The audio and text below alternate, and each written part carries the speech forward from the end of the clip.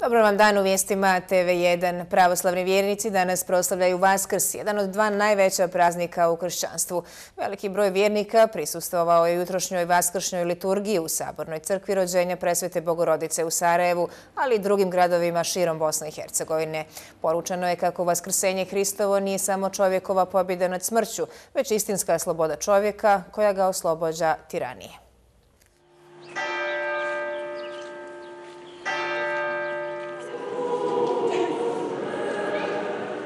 Vjernici su jutros na Vaskršnjem bogosluženju pripalili svoje svijeće na svetom ognju koji je stigao iz Jerusalema, a nakon toga su izvršili ophod oko crkve tri puta. Svijeće su pri povratku ugašene i sačuvane kako bi ih vjernici u svojim kućama ponovo zapalili. Vaskršnju liturgiju predvodio je proto Jerej Stavrofor Vladimir Stupar. Pozvao je na ljubav i slogu među vjernicima. Pozivam vas da živite u ljubavu vodeći tako putem koji vodi večni život, jer ćemo samo tako postati biti sinovi i spasenja. Stoga čuvajte se, čuvajte u ljubavi tajnu života koji ustanovio je svetlje sam Gospod. Stotine građana sinoć su dočekali blagodatni oganji u sabornom hramu Hrista Spasitelja u Banja Luci. Oganj je predat predsjedniku Republike Srpske Miloradu Dodiku uoči oči Vaskršnje svete arhijerejske liturgije koji ga je sa sveštenstvom podijelio građanima. Događaj koji prethode Vaskrsu su dolazak Hristovu u Jerusalem, gdje su ga prvo dočekali kao cara, da bi ga za nepunih sedam dana osudili na smrt. Da nije bilo veliko petka, ne bilo ni Vaskrsa. Samo stradanje na Golgoti prethodilo je pre toga i veliki četvrtak kada su kada je Hristos održao tajnu večeru kod, kod svog tajnog učenika – A odmah sutra, odmah na večer, na veliki četvrtak, oni su Hrista uhvatili prvo sveštenici i vojnici i odveli ga na sud. Normalno da je sud dosudio da bude Hristos razapet, jer tada kod jevreja bilo je kamenovanje ili raspeće. Na Vaskršnje jutro vjernici se čukaju jajima. Jedan od običaja je i da se prvo ofarba crveno jaje, koje simbolizuje krv Hristovu i radost zbog njegovog vaskrsenja. Sedam dana nakon Vaskrsa u ponedjeljak obilježava se pobosani ponedjeljak. Jaja ofarbana, pretežno u Lukovini, iznose se na groblja gdje se razbijaju i jedu za dušu preminulih predaka. Tradicionalnim pozdravom Hristos Vaskrse, Vajstinu Vaskrse, Patriarh Irineju je u Beogradu čestitao praznik uz poruku da se nikada ne zaboravi da Vaskrs znači početak i temelj Vaskrsenja. Vaskrs je obilježen i u drugim gradovima regije. Obilježavanje Vaskrsa počelo je ponoćnom liturgijom, a prethodno je u Beograd stigao blagodatni oganj, praćen zvaničnom državno-crkvenom delegacijom. Blagodatni oganj je svečano u hramu Svetog Save u Beogradu, uručen patrijarhu Srpskom Irineju, u prisustvu predsjednika Srbije Tomislava Nikolića i drugih zvaničnika.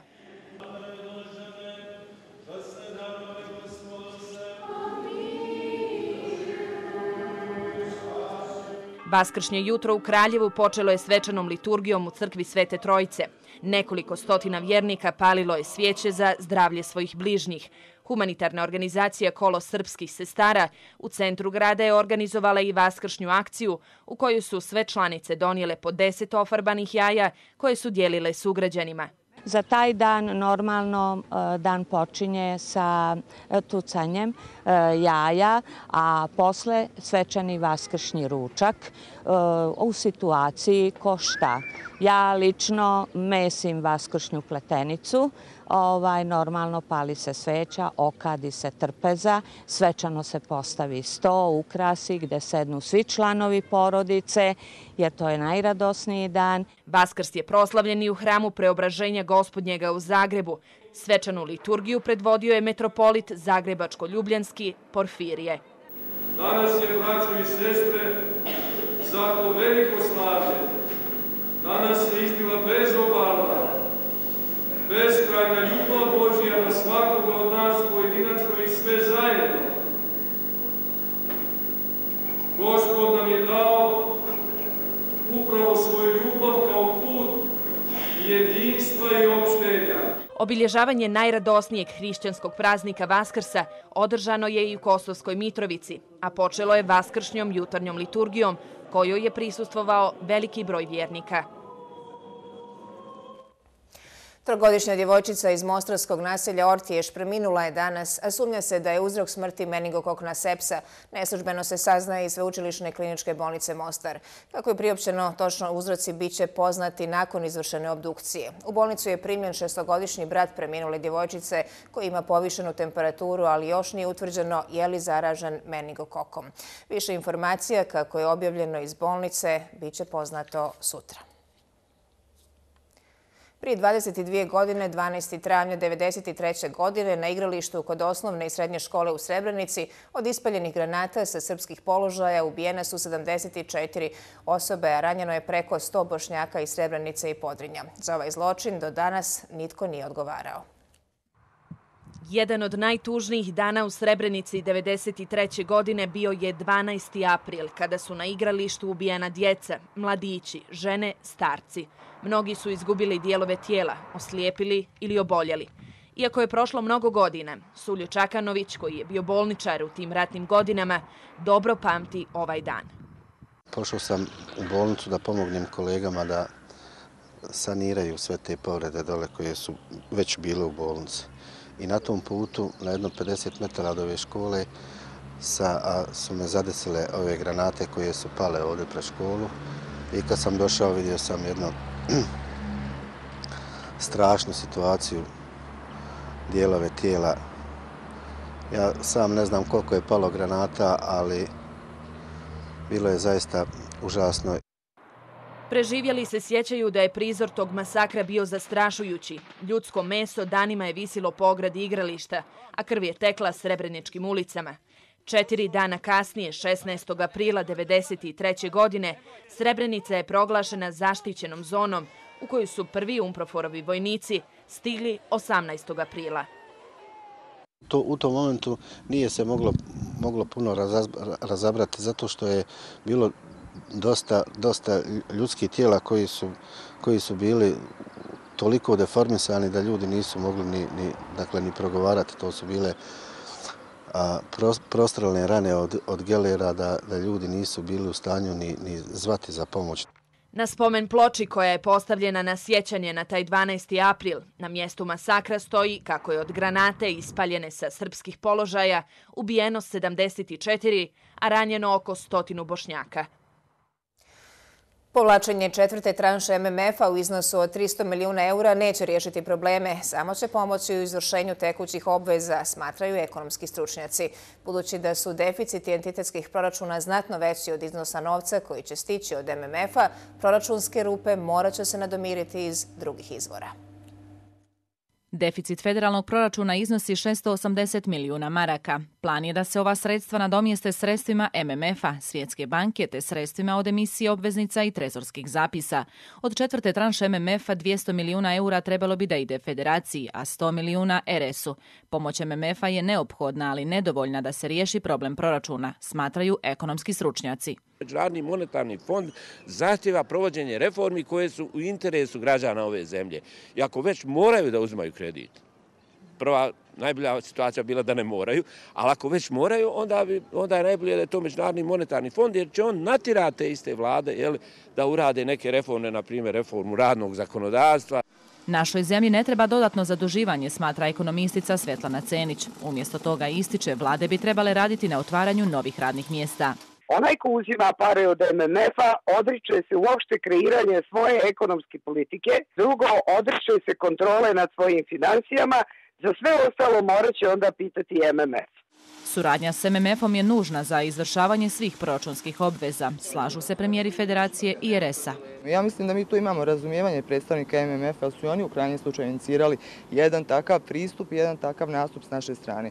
Dakle, neka veća fleksibilnost kad su u pitanju vremenski rokovi za pregled. Znači, ne radi se o ugovaranju novih, nego o potvrđivanju starih i e, nekom, da kažem, otvaranju vrata za, za, za, za konforniji pristup ovaj, MMF i međunarodnim organizacijama koje bi nam omogućili dakle, stabilniju socijalnu situaciju, dakle, relaksiranu socijalnu situaciju za vrijeme dok radimo ekonomske reforme. Zaduživanje nije trajno rješenje, mišljenja su analitičari, jer sav teret otplate duga pada na građane.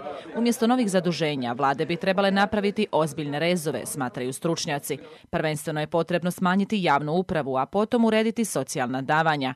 Istovremeno slažu se da smanjenju administracije mora prethoditi otvaranje novih radnih mjesta, jer bez toga bi smanjenje broja uposlenih u javnoj upravi bilo kontraproduktivno, odnosno rezultiralo bi smanjenjem ukupne potrošnje, što bi dovelo do pada ekonomske aktivnosti.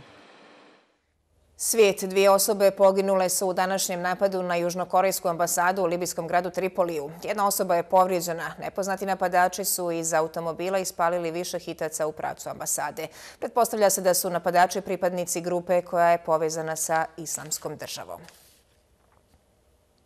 Avioni sirijske vojske bombardirali su tržnicu na sjeveru Sirije, područje koje je pod kontrolom sirijske oporbe. Najmanje 25 osoba je poginulo, a 30 je povrijeđeno. Među stradalima ima i žena i djece.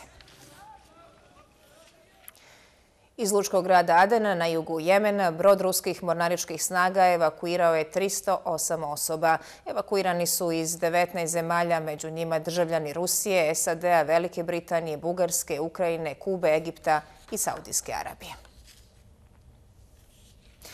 Američka svemirska agencija NASA objavila je snimak svemirske šetnje njenih astronauta. Jedan od astronauta želio je prikazati kako izgleda rad na Međunarodnoj svemirskoj stanici, te je snimio neke od svojih aktivnosti. Snimak je ponudio sjajan pogled na svemir i zemlju, a mogu se vidjeti astronauti kako se služe različitim alatom. Tradicionalna međunarodna ulična utrka Vivičita 2015 održana je po 21. put u Sarajevu. Ovogodišnja Vivičita održana je u još 90 gradova na tri kontinenta. Ove godine u utrci je sudjelovalo oko 1600 natjecatelja koji su osim iz Bosne i Hercegovine dolazili iz susjednih zemalja, Hrvatske i Srbije. Sudjelovali su učenici osnovnih i srednjih škola, studenti, veterani koji su trčali rekreativnu dionicu u dužini 4 km, dok su u službenoj utrci dužine 12 km nastupili aktivni atletičari i atletičarke iz BiH i zemalja regije. Nakon ove održane trke mi šaljemo odmah rezultate u Bolonju. Imamo jedan svjetski poredak, odnosno svjetski rezultat u 40 zemalja. Jedna je evo izuzetan projekat, izuzetna trka, ona ima poruke e, mira, ove godine je poruka za uređene lokalne zajednice i uređene sredine. Znači da evo poruka iz Italije dolazi cijelom svijetu da više brinemo o lokalnoj zajednici. Doveo sam ovdje ekipu od deset takmičara gdje smo pobedili u glavnoj trci seniora, drugo mjesto u glavnoj trci seniorki, pobedili smo trci osnovnih i srednjih škola, tako da smo svake godine dolazimo i meni je drago da dolazimo uvijek u Sarajevo, to je neki grad koji mene posjeća na Užice i rado dolazimo. Utrke Vivičita, čiji je generalni pokrovitelj Talijanska asocijacija Unija Sport za sve, održavaju se već 30 godina. Ovogodišnja Vivičita je osim u Sarajevu održana u još 90 gradova na tri kontinenta. Ovo mi je 21. trka. Sretan sam što sam uspio da održim tu tradiciju i nadam se da će zdravlje da posluži pa da otrčim još 21 bar. Trka je bila stvarno teška i duga. E, volim da trčim ovakve e, trke i nadam se da ćemo i sljedeće godine doći ovdje, jer svake godine dolazim i žela bih da se zahvalim organizatorima na ovako dobroj trci. Pa bilo je dosta teško, pripremao sam se, imao sam godinu dana da se pripremam, dosta sam se umorio, bilo je dosta dobrih takmičara. Ova medalja, zapravo ova trka je meni samo jedan dobar trening i ne gledam to na medalju, nego eto, jedno zdravo druženje sa, sa zdravom okolinom. U oficijalnoj utrci na 12 km u kategoriji muškaraca prvo mjesto uzeo je Uroš Kutlešić iz Srbije, dok je njegova sunarodnjakinja Ana Subotić pobjednica u ženskoj konkurenciji. Tehnički organizator utrke u Sarajevu bio je Sportski savez kantona Sarajevo. Utrka Vivičita u Sarajevu je prvi put organizirana 1994. godine kada su natjecatelji zbog opasnosti od snajpera i granata trčali hodnicima kompleksa Skenderija.